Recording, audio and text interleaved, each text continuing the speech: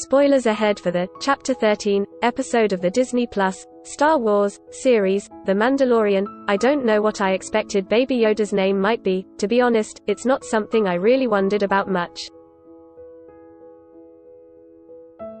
But I certainly did not expect that it would be as awful as Grogu.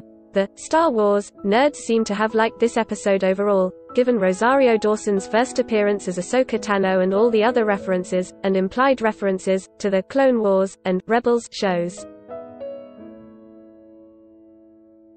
But I have a hard time even thinking about all that stuff right now as I try to wrestle with Baby Yoda's name actually, truly, for real being Grogu.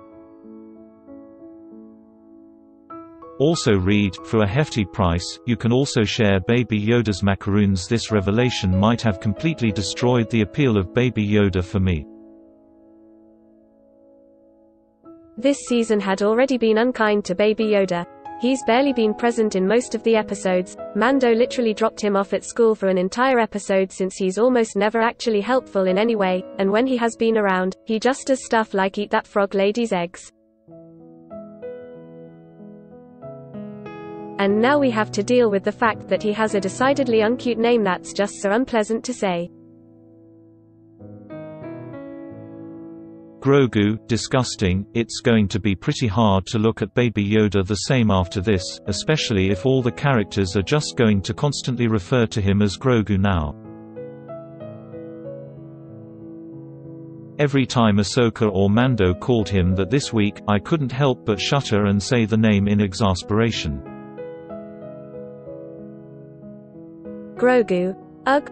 Also read, Why are the Mandalorian episodes so short? Giving Baby Yoda that name is as severe a crime against Star Wars as anything that happened in The Rise of Skywalker, which has been reviled by fans and received the worst critical reception of the entire movie franchise. It's the kind of thing that retroactively makes the whole show worse. If I were to watch The Mandalorian from the beginning, I think I'd enjoy Baby Yoda less just knowing that Grogu is a thing. It's just astonishing, honestly, that name isn't cute, it doesn't sound good when anyone says it. It's often felt to me like actors on The Mandalorian struggle to convincingly to say some of the goofier Star Wars terms, and now they're being saddled with a word that no one could sell. Maybe Grogu wouldn't be so upsetting if we'd known about it from the start. If they'd introduced that word at the beginning, before Baby Yoda became such a thing, remember, he didn't show up until the very end of the first episode, I would feel differently. If Mando had been told he had to find an alien named Grogu at the start of his mission, it would have been funny to learn that such a gross name belonged to such a precious little fella. Also read, The Mandalorian, who was that guy at the end of the season 2 premiere, but that's not how it went. And now we're stuck with a name that I think will change my entire perception of Baby Yoda.